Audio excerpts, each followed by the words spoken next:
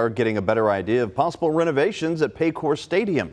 We've been covering this for more than a year now. We now know this could include a focus outside of game days. WCPO 9 News reporter Anna Azalian live at Paycor Stadium. Anna, this is still in the early stages. It is Tanya, and uh, Hamilton County Commissioners President Elisa, Alicia Reece told me today that the meeting about Paycor Stadium was about fact-finding today. The commissioners, they're still waiting on a master plan from an outside firm they've hired. That'll give them options for renovation. What you see when you go to a game at Paycor Stadium could change. Renovation plans are still in the early stages, but the Hamilton County Commissioner's focus with these renovations became clearer Tuesday. You have a, we have an asset that cost us 365 days.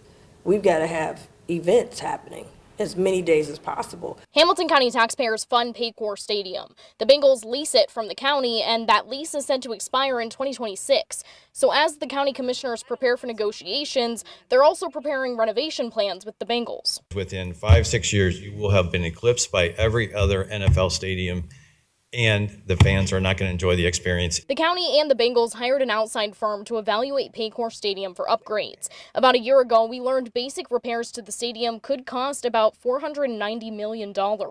This could include fixing steel rails and ramps, replacing seats, and upgrading electric and plumbing systems. The master plan that hasn't been released yet will include upgrade options. WCPO obtained an early version of the plan last summer. It had ideas like standing room only decks and drink rails, field goal and end zone cameras, and changes to seating. But Tuesday, the commissioners discussed wanting to increase the use of the stadium for non-NFL events, like concerts. They also want to integrate the stadium with the banks and downtown more. It becomes a vibrant part of the community. It's not an island to itself that's only used on game day. Building a new stadium isn't completely out of the question for the commissioners either. Tuesday, they asked for the master plan to include options for a new stadium and for renovations to the current stadium. Now, in addition to the commissioners having to decide which renovations to make, they also have to figure out how much it'll cost and how much of that cost will be on the shoulders of taxpayers. For now, at Paycor Stadium, Anna Azalian, WCPO 9 News.